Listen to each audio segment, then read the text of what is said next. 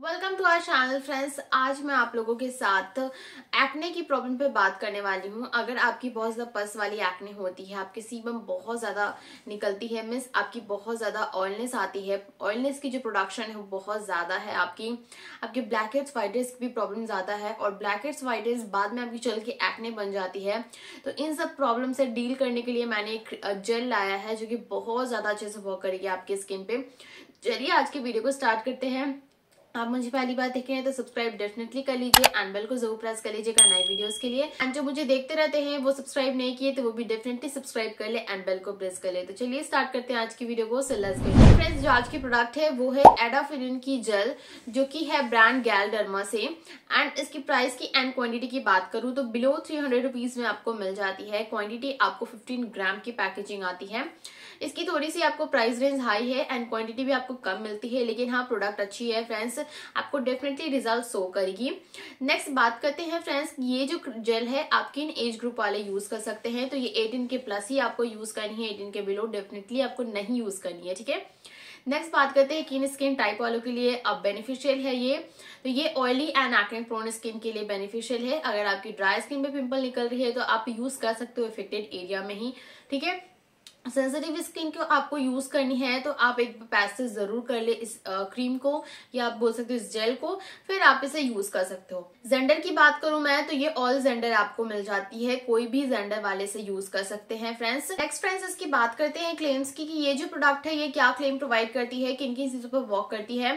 तो अगर आपकी मॉडरेट एक्ने है मिस आपकी थोड़ी मोड़ी एक्ने है आपकी पर्स वाली एक्ने है या आपकी बिना पर्स वाली भी एक्ने है उन चीज़ों पर वर्क करती है। अगर पर्स वाली एक्ने में से आपकी ब्लड भी केम आउट होती है तो उसमें भी आपकी अच्छे से वर्क करेगी। अगर आपकी एक्ने की जो साइज़ है, वो बड़ी साइज़ है तो उन चीज़ों पर भी ये वर्क करती है, क्योंकि साइज़ पर भी डिपेंड करती है एक्ने की।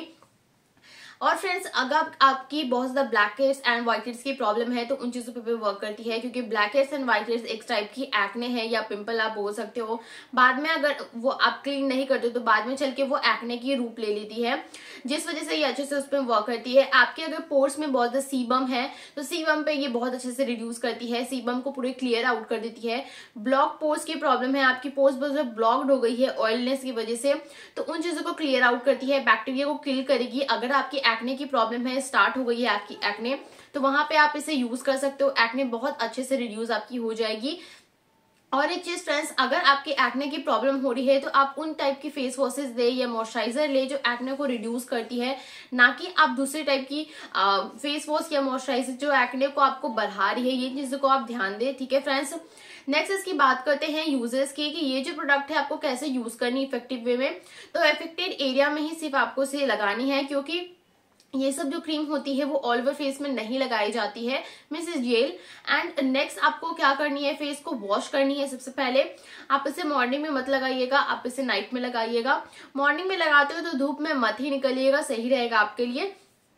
मॉर्निंग में फेस वॉश कर लीजिए या नाइट में आपको लगानी है तो फेस वॉश कर लीजिए फेस को अच्छे से क्लीन कीजिएगा।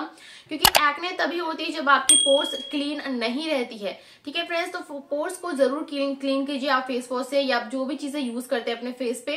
क्लीन करने के बाद आपको ये इफेक्टेड एरिया की जगह पे लगानी है डॉटेड फॉर्म में। तो सबसे पहले आप मॉइस्चराइजर लगा ले, उसके बाद इसे डॉटेड फॉर्म में अपने एक्ने पे लगाएँ। मिस आप थोड़ी सी ले लीजिए क्वांटिटी पी साइड्स और डॉट डॉट करके आपको ऐसे करके लगा लेनी है अंदाजे उसको छोड़ देनी है फिर वो आपको आ, उसको ब्लेंड नहीं करनी है ठीक है फ्रेंड्स क्योंकि एक्ने जो आप ब्लेंड करोगे तो वहाँ पे प्रेशर पड़ेगी और वो जो पस है वो बाहर निकल जाएगी तो उसकी वजह से आपकी और एक्ने होना स्टार्ट हो जाएगी तो आपको ब्लेंड नहीं करनी है। और इस प्रोसेस को आप सोने से पहले कीजिए, एक घंटा पहले की जिस वजह से आपकी जितनी भी प्रोडक्ट है वो अच्छे से पैनेट्रेट हो जाए आपकी स्किन के अंदर और अच्छे से वर्क करे।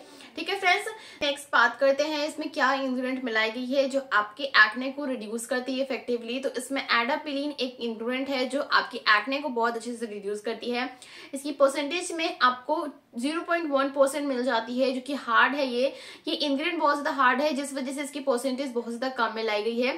ज़्यादा परसेंटेज मिलाने से आपकी स्किन पे बहुत ज़्यादा ड्राइनेस आने लगेगी, इसलिए इसे परसेंटेज कम मिलाई गई है और स्किन इरिटेशन भी होने लगी ज़्यादा परसेंटेज से। तो आपकी एक्ने को ये बहुत अच्छे से रिड्यूस करती है फ्रेंड्स ये जो इंग्रेडिएंट है, आपकी एक्ने में अंदर पोर्स में जाकर के बैक्टीरिया को किल करके जो सीबम की जो प्रोडक्शन है, उसको रिड्यूस करती है। सीबम अगर आपकी बहुत ज़्यादा रिड्यूस हो जाएगी तो आपकी एक्ने की जो प्रॉब्लम है, वो अगेन फिर से नहीं आएगी। और आपकी क्लियर आउट भी स्किन हो जाएगी।